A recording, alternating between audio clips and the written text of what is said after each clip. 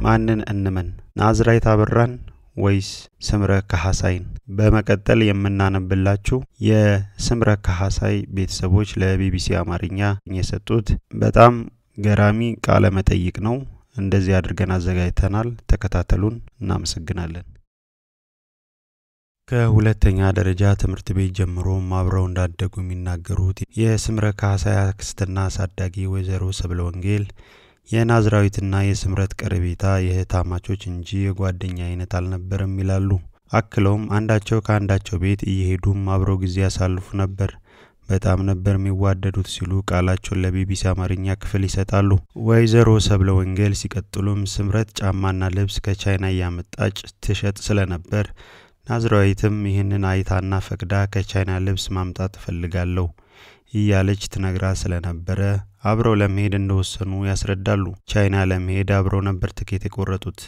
ይሁን እንጂ በበረራቸው ቀን ጠዋት የስምረት አባት በድንገት ሕይወታቸው ስላለፈ ስምረት ለመቅረት እንደወሰነች፣ ለዚህም የኢትዮጵያ ሕዝብ ካላመነ ማስረጃ ማቅረብ እንችላለን አባቷ ሳይሞት ሞተ ብለን አንገሎም ሲሉ ይገልጻሉ። በሰዓቱ የስምረት አባት የሞቱ ጊዜ ናዝራዊት የስምረት ቤት እንደመጣች ስምረትም በሰዓቱ ሀዘን ላይ ስለነበረች ጉዟቸው ለሌላ ጊዜ እንዲተላለፍ ናዝራዊትን ብትጠይቃትም ናዝራዊት ግን ግድ የለም እኔ ደርሼ እመጣለሁ ጉዞውን አላስተላልፈውም እንዳለቻት ወይዘሮ ሰብለ ወንጌል ይናገራሉ።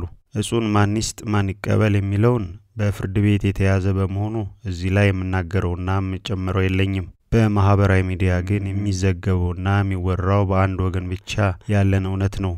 የእኛ ድምፅና እውነት የሚያስረዳልን የለም። ይህም ትክክል እንዳልሆነና ይህም ስምረትን በጽናት እንድትጎዳ አድርጓታል ይላሉ አሳዳጊዋ አክስቷ ወይዘሮ ሰብለ ወንጌል። ስምረት ከአየር መንገድ የበረራ አስተናጋጅነቷ ስራዋ እንድትወጣ ያደረጋት የጤናዋ ጉዳይ ነው፣ ኩላሊቷን እያመማ ስለተቸገረች ነው ሲሉም ያክላሉ። የስምረት ታናሽ እህት ዶክተር ማርነት ካህሳይ እንደምትለው ናዝራዊት መያዟ ሲሰማ ቤተሰቦቿ እንደመጡ ታስታውሳለች። አስከትላም ናዝራዊት ከሄደች ድምጿ አልተሰማም፣ ምን እንደሆነች አናውቅም ነገር ግን ቻይና አየር ማረፊያ ስትደርስ በቁጥጥር ስር ውላለች ሲሉ በሰዓቱ እንደገለጹላቸው ትናገራለች። በጊዜው ምን ይዛ ነው የተያዘችው ብለን ስንጠይቃቸው እነርሱ ምንም የሚያውቁት ነገር እንደሌለና በአጋጣሚ በሰዓቱ ስምረት ቤት ውስጥ እንዳልነበረች እህቷ ትናገራለች። እኔና እናቴ ነበርን ለስምረት የነገርናት። በጣም ደንገጠች። ምን እንደተፈጠረ ማወቅ አልቻለችም። ከዚያም የናዝራዊትን ወንድም ለማነጋገር ሞከረች። ይሁን እንጂ መልሰው እነሱም እርሷን ነበር ሲጠይቋት የነበረው። ምንድን ነው ያደረግሻት? የት ነው ያደረሻት?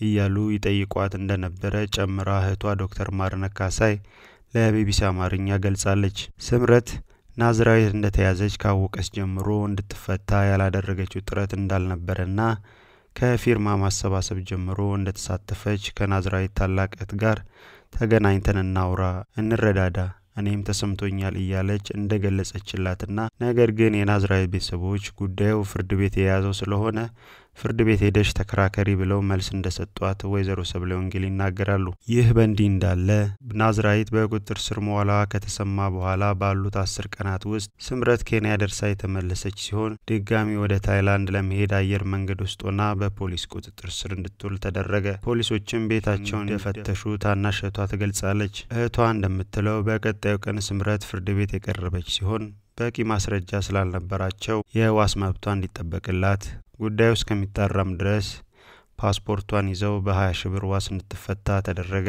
ከዚህም በኋላ ስምረት እንደ ማንኛውም ሰው በሰላም ስትንቀሳቀስ ቆይታ ከተፈታሽ በወር ከአራት ቀኗ በድጋሚ ቤቷ ውስጥ እያለች በቁጥጥር ስር እንድትውል ተደረገ። ስምረት በመጀመሪያ እጽ ለናዝራዊት አበራ ሰጥታታለች በሚል ክስ ተጠርጥራ ነው የተያዘችው። በድጋሚ በፖሊስ ቁጥጥር ስር ስትውል ግን ያለ አግባብ የተገኘ ገንዘብን መጠቀምና ሰዎችን ያለ አግባብ ማዘዋወር በሚል ክስ ተጠርጥራ እንደተያዘች ፖሊሶቹ ይገልጻሉ። ብዙ ሰው ስምረትን መጠየቅ የሚፈልገው ጥያቄ ቢኖር ለምን ቻይና ቀርታ ታይላንድ ለመሄድ ወሰነች? ልትጠፋ ነው የሚያስመስልባት ተብለው ለተጠየቁት አክስቷ ሲመልሱ ከእጮኛዋ ጋር ነበር ወደ ታይላንድ ልትሄድ የነበረው። ፕሮግራም ነበራቸው። surprise ሊያደርጉን ነበር። ልንነግርሽ የማንፈልገው ግላዊ ጉዳይ ነበራቸው በማለት መልሰዋል። እጮኛዋም አብሮ በቁጥጥር ስር የዋለ ሲሆን ከዚህ ጉዳይ ጋር በተያያዘ እንደሆነ የስምረት እህት ትናገራለች። ይሁን እንጂ ጉዳዩን ሕግ ስለያዘው ተጨማሪ ማብራሪያ መስጠት እንደማይችሉ ነገር ግን ስምረት በሶስተኛ ፖሊስ ጣቢያ በእስር ላይ የምትገኝ ሲሆን የፍርድ ሂደቱን እየተከታተሉ እንደሆነ እህቷ ታስረዳለች። በመጀመሪያ በቁጥጥር ስር ውላ በዋስ ከወጣች በኋላ ሚዲያ ላይ የሚናፈሰውን ወሬ አይተን ስምረት አዋረድችን በማለት አገለናት ነበር። ሚዲያ ላይ እንድትወጣና እንድትናገር ገፋፋናት። እሷ ግን እህቴ ናት የእርሷ ጉዳት የኔም ጉዳት ነው። እኔ ሚዲያ ላይ ከወጣሁ የፊርማ ማሰባሰቡን ዘመቻ ሊገታው ይችላል በማለት ለሚዲያ ቃሏን ላለመስጠት ወሰነች። እኔ ተጎድቼ እርሷ ነጻ ትውጣ ስትልም ነበር። ነገር ግን የናዝራዊትን ቤተሰቦች ለማናገርና ለማገዝ ብትፈልግም ፈቃደኛ ሊሆኑላት አልቻሉም። የሁሉ ነቀፌታም ሲደራረብባት ጨጓራዋን እንድትታመም በተጨማሪም የትርፍ አንጀት ቀዶ ጥገና እንዳደረገች ሰውነቷን በጣም እንደተጎሳቆለና የቀድሞ መልኳ እንደሌለ በሀዘኔታ ቤተሰቦቿ ገልጠዋል። ቤተሰቡም በዚህ ምክንያት ስምረትን ይዘው ሐኪም ቤት ለሐኪም ቤት እየተንከራተቱ እንዳሉም ያስረዳሉ። ስምረት ግን በዚህ አስቸጋሪ ሁኔታ ውስጥም ሆና የናዝራዊት መፈታት በጉጉት እየጠበቀች እንደሆነና ሁልጊዜም አበክራ እንደምትጠይቃቸው ስምረትም ናዝራዊት ተፈታ እውነቱን ተናግራ እርሷንም ነጻ እንደምታወጣት ተስፋ ታደርጋለች። ቤተሰቦቿም የናዝራዊት የፍርድ ሁኔታ በቅርበት እየተከታተሉ እንደሆነና ምኞታቸው ሁሉ ናዝራዊት ተፈታ ለአገሯን እንዲያበቃት እንደሆነ በመጨረሻ ገልጸዋል።